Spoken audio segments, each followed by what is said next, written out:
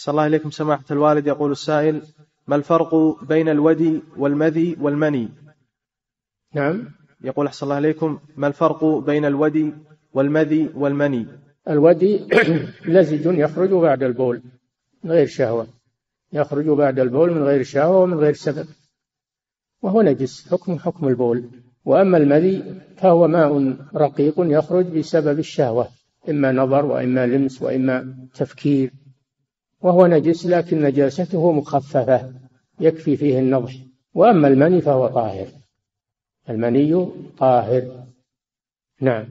لكن إذا أزاله من باب النظافة وغسله من باب التنظف فلا بأس. أما لو بقي فهو ليس نجسا. نعم.